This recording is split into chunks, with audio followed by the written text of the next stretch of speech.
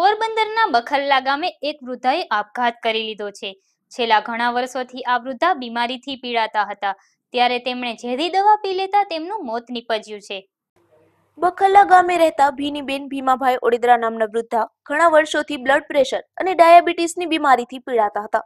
ત્યારે બીમારીથી કંટાળી આ વૃદ્ધાએ ગઈકાલે પોતાના ઘરે જ ઝેરી દવા પી લીધી હતી, જે બનાવની તેમના પરિવારજનોને જાણ થતા પરિવારજનોએ વૃદ્ધાને તાત્કાલિક સારવાર માટે પોરબંદરની સરકારી હોસ્પિટલે ખસેડ્યા હતા, જ્યાં બે કલાકની સારવાર બાદ આ વૃદ્ધાનું મોત નીપજ્યું હતું.